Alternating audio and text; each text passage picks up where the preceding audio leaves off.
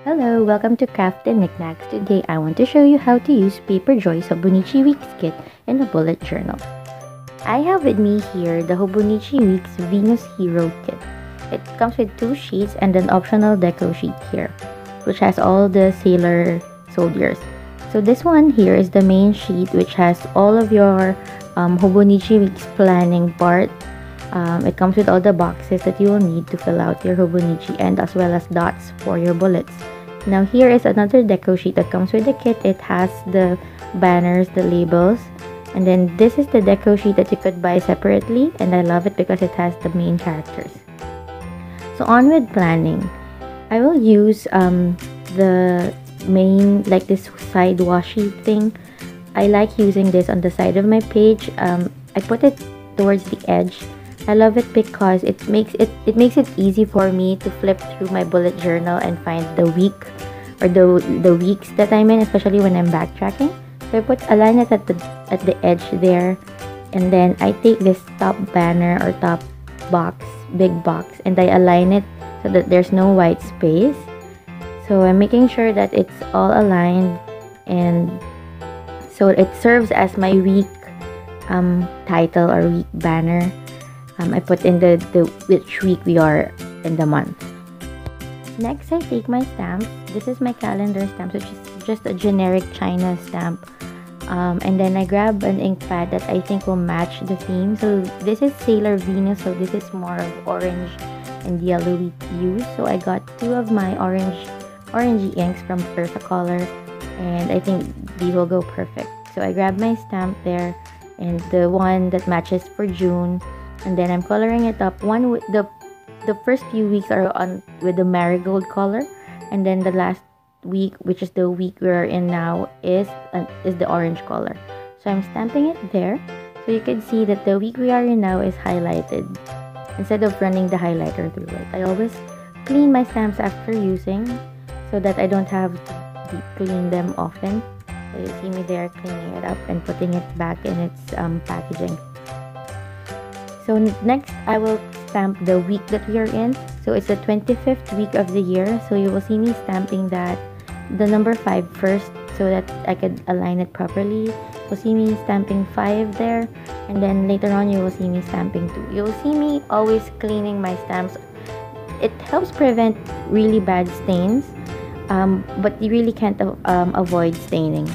Clear stamps are notorious for staining anyway, so if you're not ready to have your stamps being stained, don't get clear stamps. So there you see me there.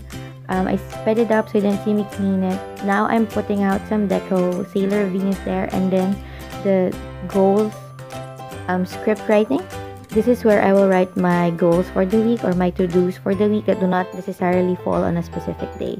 Now I'm lining up the week's um, line or border, I don't know what it's called, but it has the days of the week and then I'm lining up this um, to do some kind of a to-do list checklist that matches the number of days or the week there. So you have it all aligned on the last dot and then I just grabbing my Pigma Micron 003, I line it up so that I could separate each day. I like using the Pigma Micron 003 because it has a really thin line and so it leaves me more space for writing my stuff down instead of a thick line. So I'm putting here today which is for events for the day and to do which are tasks that fall on a specific day.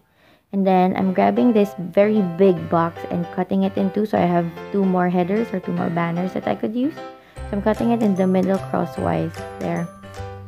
And then you'll see me stick this somewhere in the um at the end of this strip there at the right side there.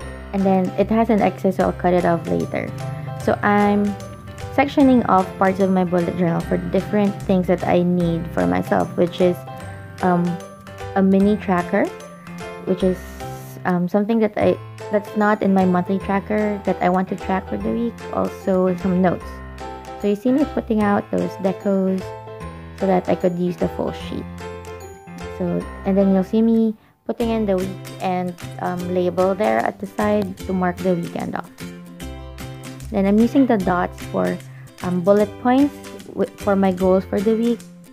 It's a little hard to to align them because I'm far from my from my bullet journal so you'll see them all crooked up but it's fine. I'm not really that um I'm not that of a perfectionist anyway.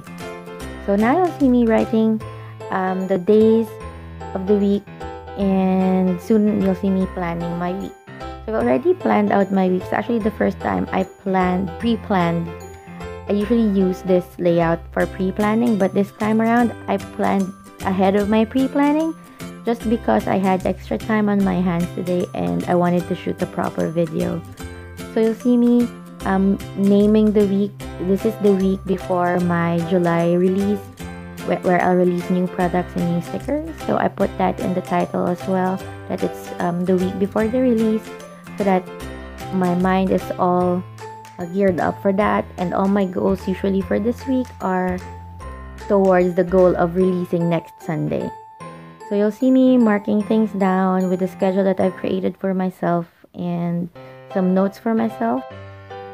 So I like writing, I like separating my events from my to-dos. That's why I have two columns here. I used to have this in one just box, but I thought that the, the week's kit is perfect for separating them out. That way I could see which ones, which are tasks and which are events. Actually, some of the events I could move around um, because I'm on currently on maternity leave, so nothing is set on stone when I'm going out because it depends on how clingy my children are before I leave. So it just some of the things that are there like courier day it doesn't move because I could just leave the pack packages here at home and someone will take care of them when I leave. I also have here on my notes some of the YouTube videos that I'm planning on making and what I need to do those videos and a lot of um, notes for future things that I want to do like not for this week but next week and then you can see me with my handy dandy DIY um, sticker book and I put just put in yay payday because I'm getting paid even if I'm on maternity leave and then lastly I'm putting this big Sailor Venus deco because she's so cute and she's orange and she's my favorite Sailor Moon I mean Sailor Soldier so if you like this video, please hit like and subscribe to our channel. Thanks for watching. Bye!